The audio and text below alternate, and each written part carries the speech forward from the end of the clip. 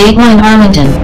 Midterm elections are in full swing, and Democrats in Northern Virginia are determined to hold their ground in the stronghold of Northern Virginia with an upcoming banquet fundraiser while paying tribute to Bobby Kennedy and Martin Luther King, but beneath the veneer of celebrating diversity at a dinner that will present, ironically three wealthy Caucasians, Congressman Joe Kennedy, Senator Tim Kaine and Congressman Don Beyer on September 27, while Lieutenant Governor Justin Fairfax, the African-American politician elected in 2017, is scheduled to speak to the minority community at the annual NAACP Freedom Fund banquet on October 13, 2018. Beneath the calm surface the names being heard in the streets are two names from the past, Washington and Lee, after a controversial decision to rename a high school that has been a part of the community and its history since 1925.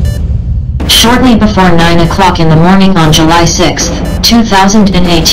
Major Mike Webb, on behalf of himself, and his political campaigns, filed an action in the Arlington County Circuit Court against the Arlington Public School Board, and other private defendants, including Assistant Superintendent Linda Erdos and Arlington County School Board member Monique O'Grady. Four persons with standing to file suit against the school board regarding the name change of Washington Lee High School, July 6, 2018 was the last day to file a complaint under the statute of limitations, and that complaint was the first filed to oppose the measure adopted by the Arlington Public School Board on June 7, 2018. Even though Major Webb had personally contacted Superintendent Patrick Murphy, as well as Washington Lee High School PTA President Tish Johnson on June 8, 2018 to alert them of a pending suit, Assistant Superintendent Linda Erdos told Peggy Fox, a television news reporter for WUSA 9 in D.C. on July 17, 2018 that she had only become aware of a lawsuit against the school board on that day when the reporter contacted her, and Ms. Erdos claimed, at that time, that the school board had just received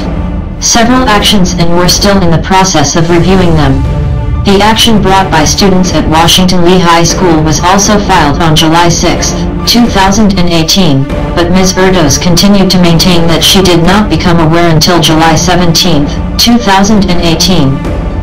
These puzzling statements by the Assistant Superintendent and the Arlington Public School Board were only the latest in an apparently continuing scheme of public deception directed by Erdos who holds a BS in English and a minor in education, and who spent 12 years at the Public Relations Specialist for the Washington Post, before taking on that responsibility for the Arlington Public School Board in December 2000. On August 17, 2017, just four days after tragic events rocked the college town of Charlottesville, Virginia when protesters from both sides clashed over the removal of a statue of the Virginia icon, General Robert E. Lee, school board president Barbara Kanninen, currently up for re-election in November, announced a timely decision to consider the naming policy of all of the school facilities in Arlington, but categorically denied that any particular school was a target of their plan to adopt a school renaming policy. Nonetheless, at that meeting almost a dozen speakers signed up to speak during the public comment period to specifically discuss renaming Washington Lee High School, and only one, the first speaker to sign up, spoke on behalf of retaining the name of the school. Persons who volunteer to speak during the public comment period are granted two minutes to speak on any topic not on the agenda on a first-come first-served basis, and the remaining 10 speakers, including many supporters and members of Indivisible Arlington, a community group connected to school board president Kanninen, came out to propose that the name of Washington Lee be changed, removing the name of General Lee. Although three African American students spoke at the meeting, one specifically told the board that he had been recruited by a little white girl who lived across the street, and one African American student, apparently an aspiring actor, like the daughter of Monique O'Grady, but a student attending Yorktown High School appeared to be reading a script that he was given to read. Still, Arlington Public School Board President Kanninen continued to assure the community until February 2018 that no particular school was a target of the decision to adopt a new school renaming policy. And few were surprised in June when, upon the successive motions brought by the newly elected Arlington Public School Board member O'Grady, an African American and public relations specialist for AARP, the board adopted a new renaming policy and changed the name of Washington Lee. And, on August 17, 2018, marking the one-year anniversary of the school board to timely consider the school naming policy, private attorneys from Blank Manship and Kirk PC argued to quash the complaint brought by Major Webb, claiming that they had not received the complaint filed with the Arlington County Circuit Court on July 6, 2018. Major Webb's complaint against the school board, Erdos, and O'Grady is brought on the legal theory of tortious interference with a business expectancy, an action brought when individual parties engage in unlawful conduct to thwart a legitimate enterprise, and although not a commonly used legal strategy by political or advocacy campaigns, it is an accepted cause of action in the nation's courts. Major Webb's complaint includes allegations of unlawful conduct ranging from civil wrongs to felonious conduct perpetrated by several parties in support of the decision to change the name of Washington Lee High School, but, somehow, attorneys for defendants have convinced the court that they could not find any allegations in the complaint to support a tortious interference claim and denied that it was even a legal cause of action that could be heard by any court. This apparently is not the first time that Linda Erdos has been involved in criminal activity. Stay tuned for updates as they develop. We get the news as it happens and we get it to you before anyone else. Back to you, in the studio, Mo.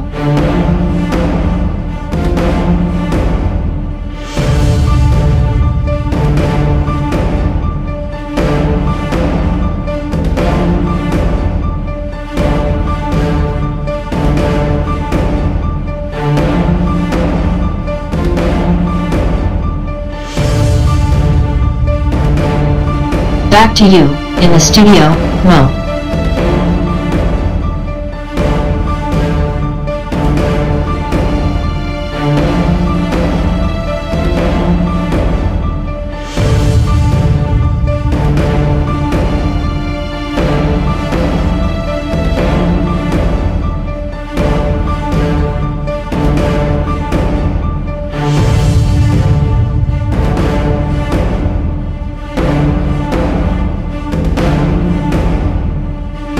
Back to you, in the studio, Mo.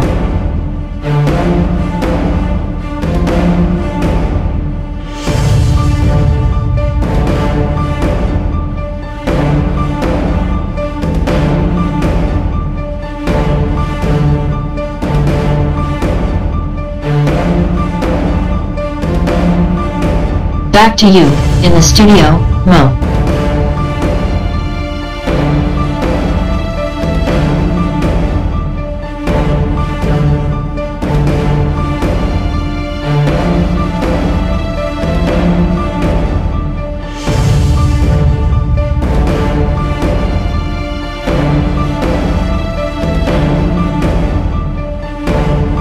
Back to you, in the studio, Mo.